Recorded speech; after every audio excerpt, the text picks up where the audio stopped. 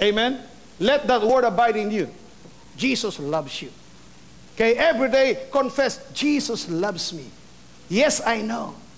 Because my Bible tells me so. Amen? Praise the Lord. Hallelujah. Be convinced that He loves you. Glory to God. Jesus loves you. That's why we can love one another because He first loved us. Now, again, in Psalm 92. Psalm 92. Are you following me so far? Psalm 92. Notice here. The righteous. Are you the righteousness of God? I said, Are you the righteousness of God? The righteous shall what? Flourish like the palm tree. He shall grow like a cedar in Lebanon. Those righteous that be planted in the what? The house of the Lord shall flourish in the courts of our God. They shall still bring what? Forth fruit in old age. They shall be fat and flourishing. Sabi po natin, I shall be fat and flourishing. Basa nyo, ayaw mag-confess. The word fat simply means I shall prosper. Amen? Okay? Hallelujah. They shall be fat and flourishing. To show that the Lord is upright, He is my rock, and there is no unrighteousness in Him. Notice there? There is a connection between righteousness and gl- the glory, righteousness and prosperity. Amen. In the kingdom of God, righteousness and prosperity always go together. You cannot separate God's prosperity from His righteousness. Are you still here? Praise God forevermore. Okay, now, now go to 1 Corinthians chapter 3. 1 Corinthians, or rather, 2 Corinthians chapter 3. 2 Corinthians chapter 3. Let's begin reading on verse 6. Verse 5 said, not, not that we are sufficient of ourselves to think anything of us as of ourselves, but our sufficiency is of God. Now, only those people who are connected to the vine can declare those words. Just like the Apostle Paul. He understood that he is connected to the vine. And because he is connected to the vine, you know, he said, not that we are sufficient of ourselves to think anything as of ourselves, but our sufficiency is of God. Sabi po natin, my sufficiency is of God. Now, verse 6. Who, who refers back to God, who also had made us able ministers of the new covenant, the New Testament, not of the letter. The New Testament is not of the letter, but of the Spirit. For the letter kills, but the Spirit gives life. Amen. This is in comparison to the, the law of Moses. The letter, the law of Moses, that commandment kills, but the Spirit gives life. Verse 7 But if the ministry of death, written and engraven in stones, was glorious. Notice there? Anong tawag po sa, sa, sa Ten Commandments? Now, now, now here, wala na po ibang uh, tinutukoy dito maliban po sa Ten Commandments. The Ten Commandments was the part of the law of Moses, the only part of the law of Moses that was written and engraven in stones. Amen? Yun lamang pong bahagi po ng law of Moses na nakasulat sa bato, yung Ten Commandments.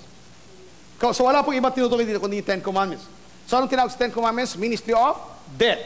But if the ministry of death written and engraven in stones was glorious, so that the children of Israel could not steadfastly behold the face of Moses, for the glory of his countenance, which glory was to be done away.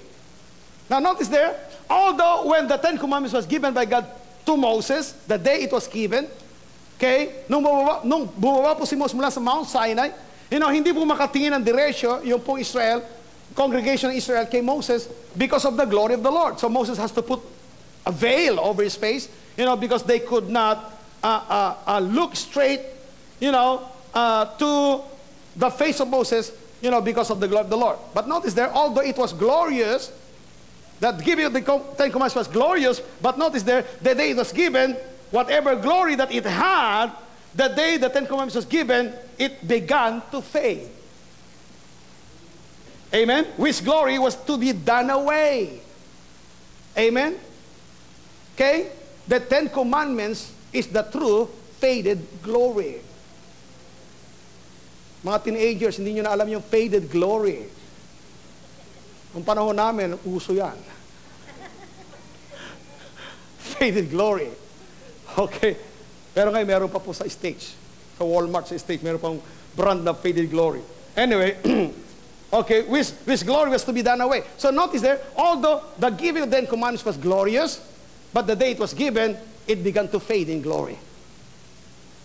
In comparison, you know, the Bible said, How shall not the ministry of the Spirit be glorious? The New Testament, the New Covenant is, a ministry, is the ministry of the Spirit. It is glorious, for if the ministry of condemnation, that is the Ten Commandments, be glory, much more. So important, much more. Much more the ministry of what? Righteousness. Notice there. The New Testament is, first of all, a ministry of the Spirit, and it is the ministry of righteousness. That's why, you know, I preach more on righteousness. Amen? Because that's the ministry of the, the, the, New, the New Testament. The ministry of righteousness, okay, exceeding what? Glory. For even that which was made glor glorious had no glory in this respect by reason of the glory that excels. For if that which is done away, the, old, uh, the, the Ten Commandments, was glorious, much more that which remaineth is glorious. The New Testament is much more in glory. Amen? Just drop down to verse 17. Now the Lord is that Spirit. Okay, now, now let's go on. But even unto this day, verse 15, unto this day, when Moses read, the veil is upon their heart. Nevertheless, when it shall turn to the Lord, the veil shall be taken away. The veil.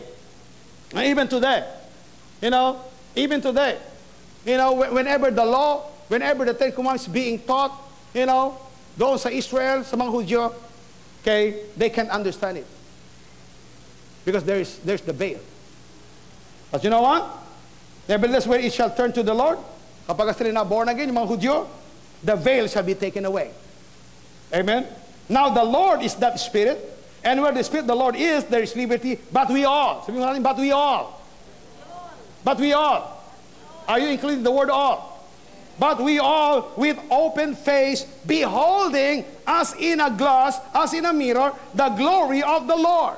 You know what? Whenever we behold the Word of God, whenever we meditate on the Word of God, we behold the glory of the Lord. Amen? Now, the Word is the mirror. The Word is the glass. The Word is the mirror. Every time we meditate on the Word of God, we are beholding the glory of the Lord. And the more we behold the glory of the Lord, the more we will be changed from glory to glory. Amen. We are being changed into the same image. Glory to God. Whatever image of Jesus Christ that you behold, you will be changed into the same image. Amen. That's why when you begin to see Jesus in his glory, you will be changed into the same image. What, what is the image of Jesus Christ that you have in your heart? Okay? Is he a good Lord? Amen? Is he the Lord that prospers and heals? Come on. Whatever image that you have of Jesus, you will be changed into the same image. That's why we need to behold Jesus Christ, amen, in his glory. And we will be changed into the same image from glory to glory. Remember these words from the book of Romans chapter 10 verse 8. The word is near you, even in your mouth and in your heart that is the word of faith which we preach. Glory to God.